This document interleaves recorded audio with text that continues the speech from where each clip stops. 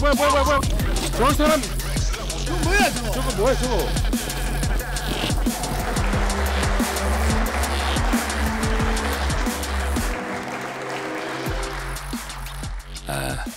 원래 오늘 이 자리에 어, 참석하시기로 했던 어, 민주당 이재명 어, 대표께서 어제 어, 테러를 당하셨습니다. 지금 치료 중이십니다.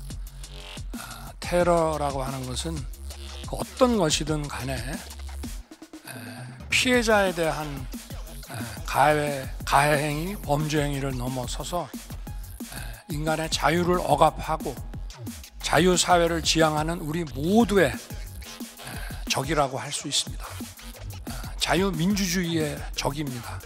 우리 모두 에, 정말 하나된 마음으로 에, 피해자를 위로하고 에, 같은 마음으로 단호하게 에, 대응해야 된다고 생각합니다. 아, 우리 모두 에, 이재명 대표의 빠른 쾌유를 에, 기원합시다.